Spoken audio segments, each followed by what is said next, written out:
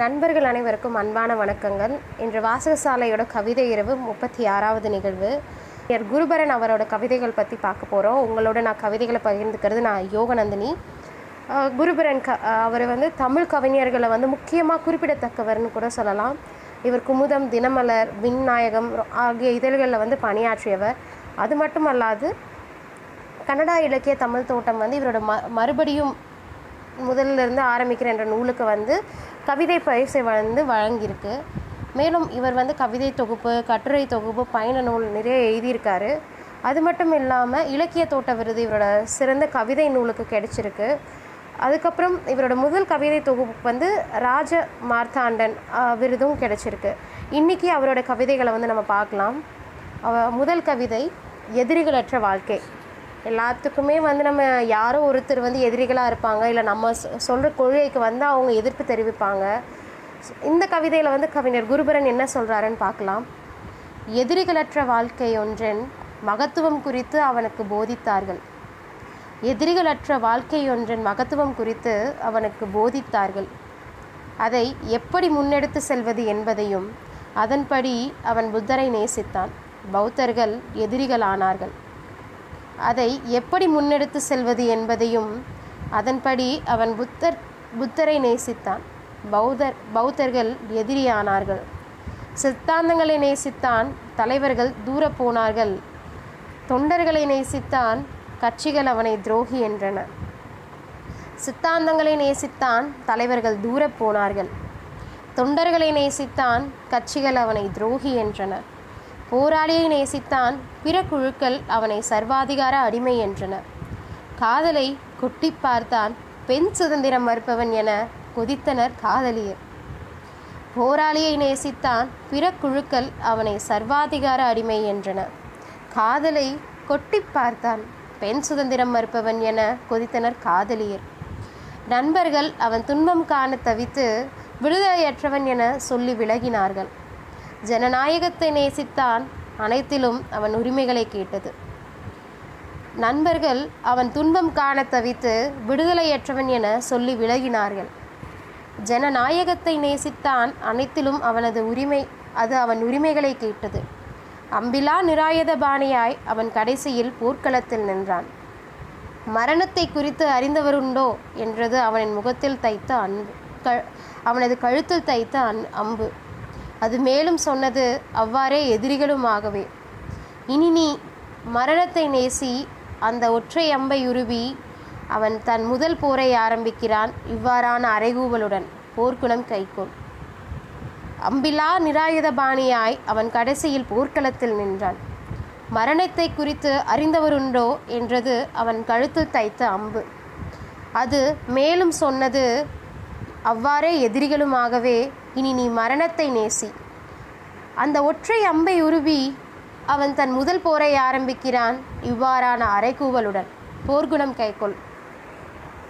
இந்த கவிதையை வாசிக்கும் பொழுது உண்மையாலுமே நம்ம எல்லாரோட வாழ்க்கையில் நேரிடுற ஒரு அனுபவம் தான் நான் சொல்லுவேன்.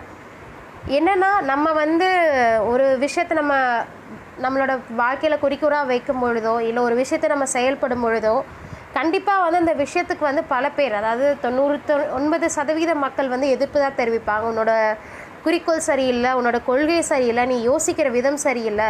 சமுதாயத்தில் இப்படிப்பட்ட கோட்பாடுகள் தான் இருக்குது ஆனால் வந்து அந்த கோட்பாடில் நான் கோட்பாடுகளில் வந்து நம்ம வந்து செய்தாலும் அவங்க வந்து அதுக்கு நம்ம எதிர்ப்பாக செய்கிறோம் தான் யோசிப்பாங்க.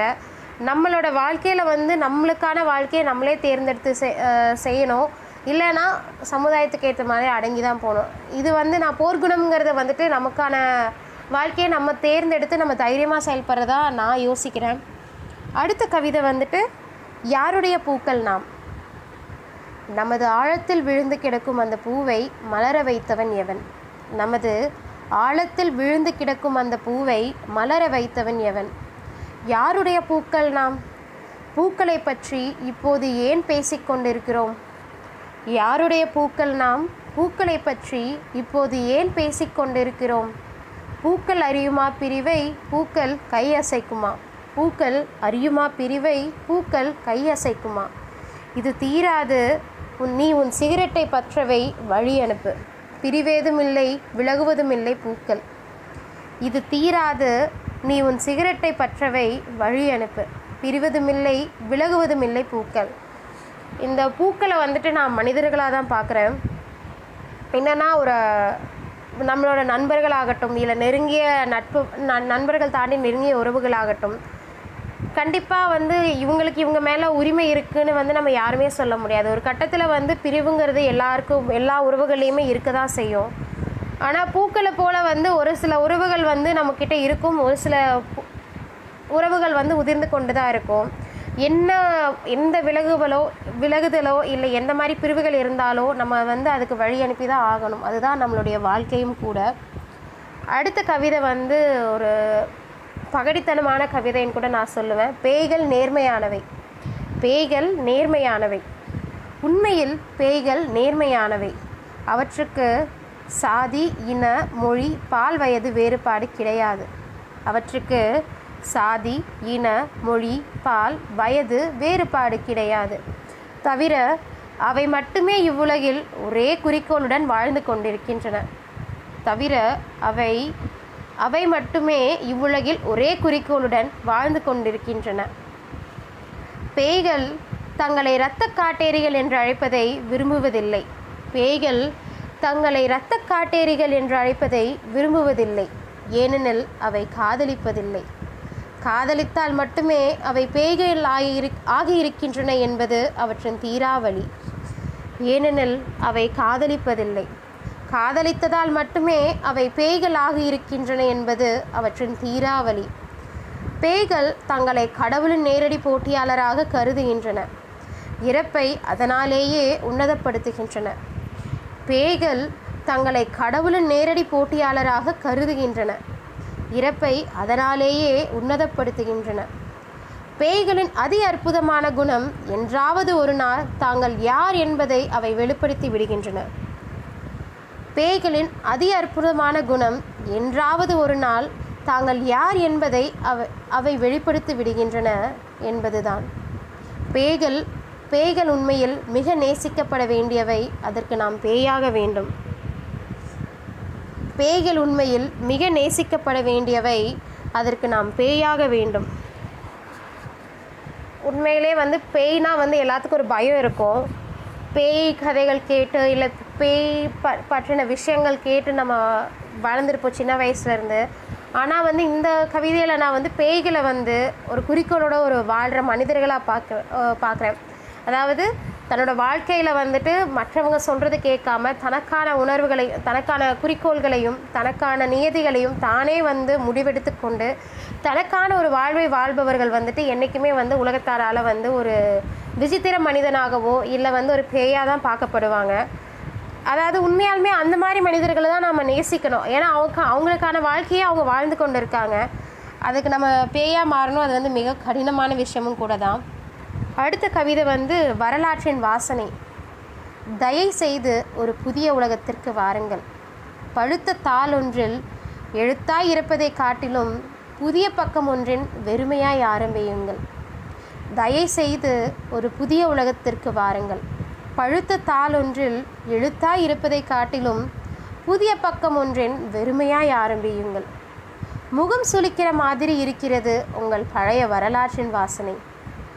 அதன் நெளிவு சுழிவுகள் அதே பிழைப்பு பரிமாணங்கள் அதே அழுத்து போன தத்துவங்கள் அதே சப்பை கட்டுக்கள் அதே அற்ப நியா நியமா நியாயம். முகம் சுளிக்கிற மாதிரி இருக்கிறது உங்கள் பழைய வரலாற்றின் வாசனை. அதே நெளிவு சுழிவுகள் அதே பிழைப்பு பரிமா பிரமாணங்கள் அதே அழுத்து போன தத்துவங்கள் அதே சப்பை கட்டுக்கள் அதே அற்ப நியாயம்.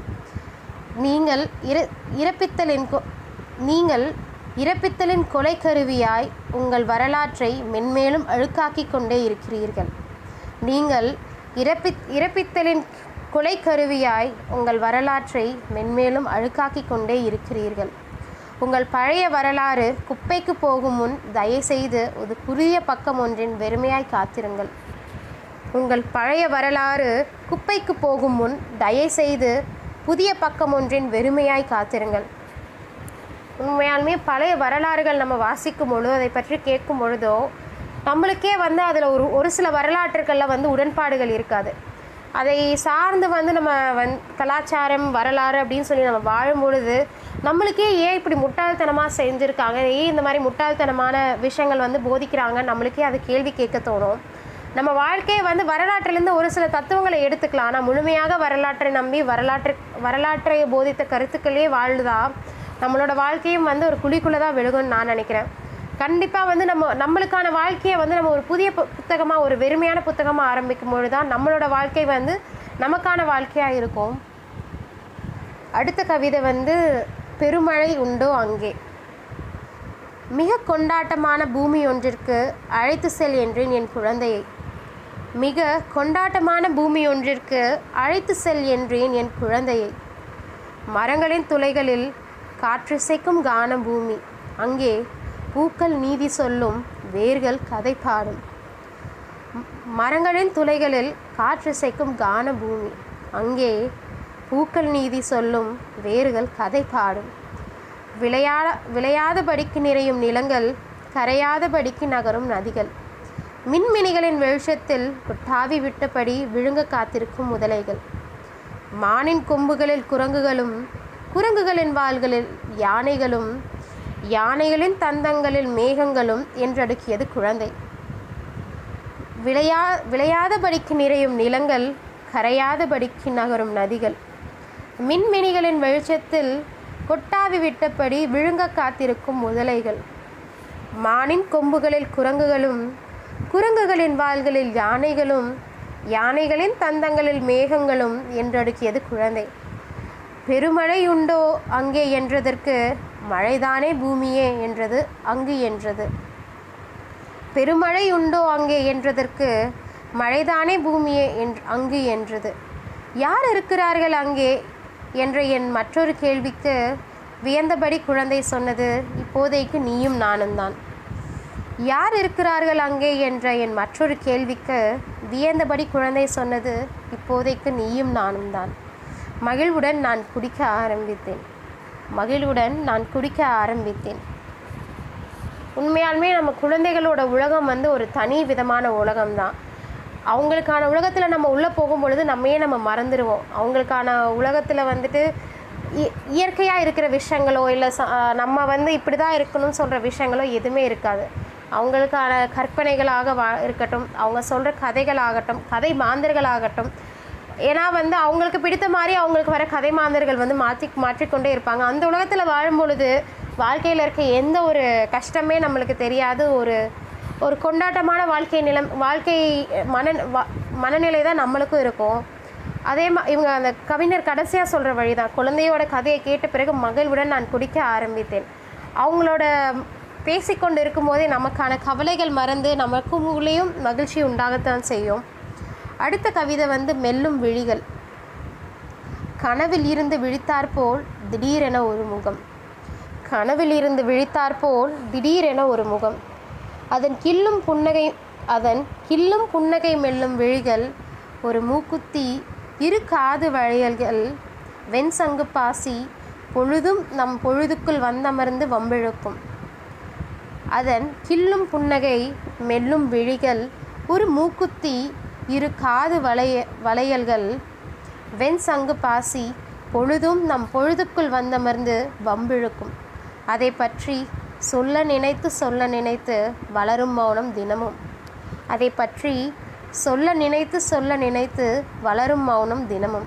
அறியுமோ இதை அம்முகம்? சரிவிடு. மௌனம் உடையும் போது உடையும் எல்லாம் முகம் பார்த்து முகமும். அறியுமோ இதை அம்முகம்? சரிவிடு மௌனம் உடையும் போது உடையும் எல்லாம் முகம் பார்த்து முகமும். இது வந்து நம்ம ஒரு வாழ்க்கையில் நம்மளுக்கான யாரையோ நம்ம ரசிக்கும் பொழுது மற்றவர்களை வந்து நம்ம ரசிக்கும் பொழுது அவர்களோட ஒவ்வொரு அசைவையும் நம்ம ரசிக்க ஆரம்பிப்போம். நமக்கு பிடித்தவங்களாகட்டும் இல்லை நண்பர்களாகட்டும் இல்லை முக்க முக்கியமாக இதில் பிடித்தவர்களை தான் நான் சொல்கிறேன் ஒவ்வொரு ஒவ்வொரு அவங்களோட அசைவுகளாகட்டும் அவர்களோட அவங்களோட அங்கங்கள் ஆகட்டும் அதாவது கண்களாகட்டும் இல்லை வேறு ஏதோ ஒரு விஷயங்களாகட்டும் ஒவ்வொரு வி- விஷயத்தையும் நம்ம ரசிப்போம். அதே மாதிரி அவங்க ஒரு வார்த்தை பேச மாட்டாங்களா அப்படிங்கிறது வந்துட்டு என்றைக்குமே நம்மளோட இயக்கங்களாக இருக்கும். அதாவது நம்ம மௌனம் வந்து நம்ம அவங்களோட முகத்தை நம்ம நேரடியாக பார்த்து பேசும்பொழுது கண்டிப்பாக அந்த மௌனமும் ஒரு நாள் உடைய தான் செய்யும். அடுத்த கவிதை வந்து மழை பொழுது. ஒரு சாலை வழியே நாம் நடக்கிறோம். மழை வருமா என்று கேட்கிறாய். ஒரு சாலை வழியே நாம் நடக்கிறோம் மழை வருமா என்று கேட்கிறாய். ஒரு குடையின் கீழே நாம் நடக்கிறோம் நனைகிறாயா என்று கேட்கிறாய்.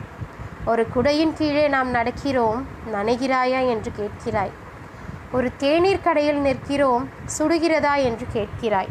ஒரு தேநீர் கடையில் நிற்கிறோம் சுடுகிறதா என்று கேட்கிறாய். வண்ணத்து பூச்சியின் மழை பொழுது குறித்தும் நீ கேட்டாய் அப்போது. வண்ணத்து பூச்சியின் மழை பொழுது குறித்தும் நீ கேட்டாய் அப்போது. இன்னும் பிறக்கவே இல்லை யாரும் என்றேன். ஆம் ஆமாம் என்றாய். இன்னும் பிறக்கவே இல்லை யாரும் என்றேன். ஆமாம் என்றாய். அப்புறம் குடையை விசி விசிறிவிட்டு மழையில் நனைந்தபடிக்கு இருந்து போனோம். அப்புறம் குடையை விசிறிவிட்டு மழையில் நனைந்தபடிக்கு இறந்து போனோம். அதற்கு முன் வண்ணத்து பூச்சியொன்றின் மழை பொழுது கிட்டும் யாரும் பிறக்க தேவையில்லை என்பதாக நீ சொன்னாய். அதற்கு முன் வண்ணத்து பூச்சியொன்றின் மழைப்பொழுது கிட்டும் யாரும் பிறக்க தேவையில்லை என்பதாக நீ சொன்னாய். இது வந்து நான் இரு காதலர்களுக்கிடையே ஒரு உறவாகவும் அவங்களுக்குள்ள ஒரு புரிதலாகவும் நான் பார்க்குறேன். ஒரு மழை பொழுதில் வந்துட்டு அவங்க நடக்கும் பொழுது இது அவங்களுக்கான காதல் வந்து உலகம் ஏற்றுக்கொள்ளாத பொழுது நம்மளுக்கான வாழ்க்கையை வந்து இங்கே யாரும் ஏற்றுக்கொள்ளவில்லை. அப்படிங்கும் பொழுது ஒரு மரணத்தின் வழியை தான் பலர் தேடுவாங்க. இதில் இரு வண்ணத்து பூச்சியங்கள் பூச்சிகள்ங்கிறது அந் அது அவங்களோட காதலர் காதல் காதலை காதலர்களாக நான் பார்க்குறேன் என்றைக்குமே வந்து உலகம் வந்து காதல் அப்படிங்கிற விஷயத்த வந்து ஏற்றுக்கவே ஏற்றுக்காது கண்டிப்பாக அதற்கான எதிர்ப்புகளை தான் தெ தெரிவிக்கும். அந்த மாதிரி வந்து வண்ணத்து பூச்சிகள் அதாவது காதலை ஏற்றுக்கும் பொழுது அதற்கான உலகம் வந்து இன்னும் பிறக்க விழதா கவிஞர் குருபரன் சொல்கிற மாதிரி. அடுத்த கவிதை வந்து தவற விடுதல். உபயோகிக்கப்பட்ட வழி ஒன்றை தவறவிடுதல் ஞானம் கிடைக்கிறது அல்ல. ஒரு தேசம் அல்லது புதிய அடிமைகள் அல்லது ஒரு புத்தம் புது வழியொன்று உபயோகிக்கப்பட்ட வழி ஒன்றை தவற விடுதல் ஞானம் கிடைக்கிறது அல்லது ஒரு தேசம் அல்லது ஒரு புதிய அடிமைகள் அல்லது புத்தம் புதிய வழியொன்று பயணத்தின் நோக்கம் ஒரு பட்டாம்பூச்சியை பட்டாம்பூச்சியுடையதைப் போல நிகழ்வதில்லை. பயனுக்கும் எவரும் என்பதில் வரலாறு எழுதுகிறது. குருதிச் சுவடுகளுடன் தவிர்க்க முடியாது எனினும் தொலைத்த வழியொன்றில் வாழ்க்கை இருக்கலாம் இன்னும் மறுபடியும் பயணிக்க. குருதிச் சுவடுகளுடன் தவிர்க்க முடியாதது எனினும் தொலைத்த வழியொன்றில் வாழ்க்கை இருக்கலாம் இன்னும் மறுபடியும் பயணிக்க. ஆகவே அதுவே காரணமாகவும் மற்றபடி உபயோகிக்கப்படாத பழைய வழி எதுவும் புது வழியே ஒரு பட்டாம்பூச்சிக்கு. அதுவே காரணமாகவும் மற்றபடி உபயோகிக்கப்படாத பழைய வழி எதுவும் புது வழியே ஒரு பட்டாம்பூச்சிக்கு. இது வந்து நம்ம தோல்விகளை சந்திக்கிற ஒரு வாழ்க்கையாக நம்ம பார்க்கலாம். அதாவது நம்ம ஏதோ ஒரு வழியில் போய் நம்ம தோல்வி சந்தித்தாலும் ஒரு புதிய வழி தேடுவதற்கு பதிலாக அந்த பழைய வழியே நம்மளுக்கு வந்து திரும்பவும் நமக்கு தவறுகளை திருத்து கொ ஒரு சந்தர்ப்பம் கொடுக்கும். அந்த பழைய வழி வந்து நம்ம எடுத்தோடே கிடைக்காது. நம்மளுக்கே அறியாமல் வந்து திருப்பியும் அதே வழியில் தான் நம்ம சென்று வெற்றிக்கான ஒரு பாதையை அடைய முடியும் அப்படிங்கிறதா தான் இந்த கவிதையில் நான் பார்க்குறேன். அடுத்த கவிதை வந்து முத்தமிடுவது குறித்து. உச்சத்தில் ததும்பி உடைகிறது உன்னுடையான உரையாடல் ஒவ்வொரு முறையும். உச்சத்தில் ததும்பி உடைகிறது உன்னுடையான உரையாடல் ஒவ்வொரு முறையும். வெளிச்சக்கீற்றை வீசி மறைகிறது உன்னுடனான நேசம் ஒவ்வொரு முறையும். வெளிச்சக்கீற்றை வீசி மறைகிறது உன்னுடனான நேசம் ஒவ்வொரு முறையும். இரவின் கனவில் பகலும் பகலின் பொழுதில் இரவும் மாறி மாறி அழுத்துகின்றன. இரவின் கனவில் பகலும் பகலின் பொழுதில் இரவும் மாறி மாறி அழுத்துகின்றன. வார்த்தைகள் கொட்டுகிற நொடியில் கொஞ்சம் கண்ணீர் மல்கிவிட்டு சும்மா கிட என்கிறது மனது. வார்த்தைகள் கொட்டுகிற நொடியில் கொஞ்சம் கண்ணீர் மல்கிவிட்டு சும்மா கிட என்கிறது மனது. அர்த்தமற்றவற்றை பேசி பேசி அர்த்தமற்றவற்றை எழுதி எழுதி கரைகிறது காதலும் உயிரும். அர்த்தமற்றவற்றை பேசி பேசி அர்த்தமற்றவற்றை எழுதி எழுதி கரைகிறது காதலும் உயிரும். நீ இந்த முறையாவது இந்த ராட்சசனை முழுதாக கொன்று போடு. நீ இந்த முறையாவது இந்த ராட்சசனை முழுதாக கொன்று போடு. அடுத்த பிறப்பொன்றில் பார்த்து கொள்ளலாம் நாம் முத்தமிடுவது குறித்து. அடுத்த பிறப்பொன்றில் பார்த்து கொள்ளலாம் நாம் முத்தமிடுவது குறித்து. இந்த கவிதையில் நான் முத்தத்தை தாண்டியும் ஒரு காதலின் பிரிவு வழியாக தான் நான் பார்க்குறேன். நமக்கு அதை காதலை வந்து நம்ம ஒருவரிடம் வெளிப்படுத்தும் பொழுது அதை நம்ம ஏற்றுக்கொள்ளாத பொழுது வந்து கண்டிப்பாக வந்து ஒரு வழி இருக்க தான் செய்யும். அந்த வழியில் வந்து ஒரு ஒரு சில வ ஒரு சிலருக்கு மரணிக்கலாம் அப்படின்னு கூட தோன்றும். ஏன்னா அவங்க நமக்கான காதலை வந்து அவங்க புரிஞ்சு புரிஞ்சுக்கலாம் புரிஞ்சுக்காம இருக்கலாம். அதை நம்ம ஏற்றுக்கொள்ளாத பொழுது அவங்களை அவங்களோட நினைவுகள் வந்து நம்மளோட மனத ஆழத்தில் போட்டு நம்மளை அழுத்தி கொண்டு தான் இருக்கும். ஸோ அந்த மாதிரி வந்து இந்த ஜென்மம் எனக்கு வேண்டவே வேண்டாம். அந்த வழியோடு எனக்கு இந்த ஜென்மம் வேண்டாம். அடுத்த ஜென்மத்திலாவது நமது காதல் வந்து நிறைவேறட்டும். அப்படிங்கிற வரிகளாக தான் நான் கவிஞர் குருபரனோட கவிதைகள் வந்து பார்க்குறேன். அடுத்த கவிதை வந்து கடைசி புரட்சியாளன். உனக்கு ஒரு இடம் வேண்டுமா என்று கேட்கிறீர்கள் கடவுளர்களே. உனக்கு ஒரு இடம் வேண்டுமா என்று கேட்கிறீர்கள் கடவுளர்களே உங்கள் யுத்த வன்மத்தை புன்னகையில் தீற்றிக்கொண்டு. உங்கள் யுக வன்மத்தை புன்னகையில் தீற்றிக்கொண்டு. விதியும் மீதியும் கேள்வியும் பதிலும் உணவும் விஷமும் என்பதாக நீங்களே அமையும் உங்கள் பிரிதொரு நாள் உங்கள் கசட்டுக்குருதி குறித்து வெற்றி எக்காலத்துடன் உலகின் கடைசி புரட்சியாளன் உல் உங்களின் வறண்ட இதயத்தில் காலமர்த்தி சொல்லுவான் நீங்கள் நேசித்ததும் இல்லை எம்மை கைக்கொள்ளவும் இல்லை. உண்மையாலுமே வந்து ஒரு புரட்சியாளன் ஆகட்டும் இல்லை புரட்சி செய்பவராகட்டும் உலகம் வந்து என்றைக்குமே ஏற்றுக்கொள்ளாது. அவனை வந்து ஒரு சமுதாயத்தில் வந்து வாழ தகுதியற்றவன் உலகத்தின் கருத்துக்களுக்கு வந்து எதிர்ப்பு சொல்பவன் அப்படியாக தான் இந்த உலகம் பார்க்கும். ஆனால் வந்து அந்த கடைசி புரட்சியாளனோட அவங்களோட இதயத்தை பார்க்கும் பொழுது அவங்களோட புரட்சியை பார்க்கும் பொழுது தான் வந்து நம்மளுக்கான இது தெரியும். கடைசி புரட்சியாளனாக இருந்தால் கூட வந்து இவங்க பண்ணுற தவறுகளுக்கு வந்து எதிர்த்து கொண்டு தான் இருப்பான். தனக்கான எதிர்ப்பை வந்து தெ தெரிவித்து கொண்டு தான் இருப்பான். அடுத்த கதவு கவிதை வந்து கனவொன்றை வாழ்ந்தேன். கனவொன்றை வாழ்ந்தேன் மீளவே இல்லை. கனவொன்றை வாழ்ந்தேன் மீளவே இல்லை. வழியிலிருந்து தப்ப முடியாத ஒரு சிறு தீவு அக்கறையற்ற கடலில் மிதக்கிறது. நினைவு பாசி பூத்திருக்கிறது. ஆழத்தில் ந நனவு அத்தனை சுகமானதா இல்லை யாருக்கும். வழியிலிருந்து தப்ப முடியாத ஒரு சிறு தீவு அக்கறையற்ற கடலில் மிதக்கிறது. நினைவு பாசி பூத்திருக்கிறது. ஆழத்தில் நனவு அத்தனை சுகமானதா இல்லை யாருக்கும். ஒரு கனவு வாழ்க்கை தான் நம்ம வாழ்ந்து கொண்டு இருக்கோம் அதாவது நமக்கான விஷயங்கள் வந்து நம்ம யோசிக்கும் பொழுது இல்லை நம்ம ஏதோ ஒரு பிரிவிலையோ ஒரு காதலையோ இருக்கும் பொழுது கண்டிப்பாக வந்து ஒரு வழியாகட்டும். இல்லை நம்ம வாழ்க்கையில் நம்ம யோசிக்கிற விஷயங்கள் நம்ம செய்யக்கூடிய விஷயங்கள் வந்து அது நம்ம வெற்றி அடையாட்டியும் வந்து நமக்கு வந்து ஆழத்தில் வந்து வழி இருந்துக்கிட்டு தான் இருக்கும். அந்த மாதிரி ஒரு கனவு வாழ்க்கையை தான் நம்ம வாழ்ந்துட்டுருக்கோம் அதை எதிர்த்து வந்து அந்த வழிகளை எதிர்த்து யாருமே போராட முன்வர்றதில்லை. அடுத்த கவிதை வந்து அமைதியாக இருங்கள். எல்லோருக்கும் ஒரு வரலாறு இருக்கிறது. எல்லோருக்கும் ஒரு நிகழ் அவசியமும் இருக்கிறது. இரண்டும் சந்திக்கிற புள்ளியில் கொஞ்ச பேர் மட்டுமே இருக்கவும் முடிகிறது. எல்லோருக்கும் ஒரு வரலாறு இருக்கிறது எல்லோருக்கும் ஒரு நிகழ் அவசியமும் இருக்கிறது. இரண்டும் சந்திக்கிற புள்ளியில் கொஞ்ச பேர் மட்டுமே இருக்கவும் முடிகிறது. என் வரலாறு இறந்து போன ஒன்று என் நிகழ் வெறும் கனவு நான் வெறும் பைத்தியக்காரன் மட்டுமே. என் வரலாறு இறந்து போன ஒன்று என் நிகழ் வெறும் கனவு. நான் வெறும் பைத்தியக்காரன் மட்டுமே. ஆகவே எல்லாவற்றிற்கும் நானே பேசிக்கொள்கிறேன் நீங்கள் அமைதியாக இருங்கள். எதுவும் நடந்துவிடப் போவதில்லை. ஆகவே எல்லாவற்றிற்கும் நானே பேசிக்கொள்கிறேன் நீங்கள் அமைதியாக இருங்கள். எதுவும் நடந்துவிடப் போவதில்லை. உண்மையாலுமே நமக்கான வாழ்க்கை நான் முன்னாடியே சொன்ன மாதிரி நமக்கான வாழ்க்கை நமக்கானது தான் மற்றவங்களுக்கு வந்து நம்மளோட இது வந்து வெறும் பிம்பமாக தெரியும் ஒரு கனவுலகமாக தெரியும். என்னடா இவன் இப்படி யோசிக்கிறா? கனவுலகத்தில் வாழ்கிறாங்கிற மாதிரி தான் அவங்களுக்கு ஒரு பார்வை இருக்கும். ஆனால் வந்து எனக்கான விஷயங்களை வந்து நான் பேசிக்கிறேன் நான் வாழ்ந்துக்கிறேன் நீங்கள் அமைதியாக இருந்தால் போதும். எதுவுமே நடக்காது. என்ன விஷயமா இருந்தாலும் அதை நான் சந்திச்சுக்கிறேன் அப்படிங்கிற ஒரு விஷயந்தான் நம்மளோட வாழ்க்கையில் நம்மளோட குறிக்கோளாக இருக்கணும்.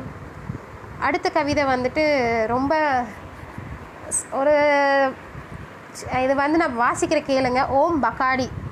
ஒரு சின்ன பகடித்தனமான கவிதையாக இருந்தது. ஓம் பகாடி. இது வந்து பகாடிங்கிறது ஒரு சிலருக்கு தெரிஞ்சிருக்கும். ஒரு சிலருக்கு வந்து தெரிஞ்சிருக்காது. பக்காடிங்கிறது ஒரு மதுல வந்து ஒரு பிராண்டு நான் நினைக்கிறேன். பக்காடி கடவுளை இயல்பாக அழைத்து வந்து விடுகிறது. கடவுளால் பக்காடியை கொண்டு வர இன்னும் முடியவில்லை. ஓம் பக்காடி பக்காடி கடவுளை இயல்பாக அழைத்து வந்து விடுகிறது. கடவுளால் பக்காடியை கொண்டு வர இன்னும் முடியவில்லை. ஓம் பக்காடி.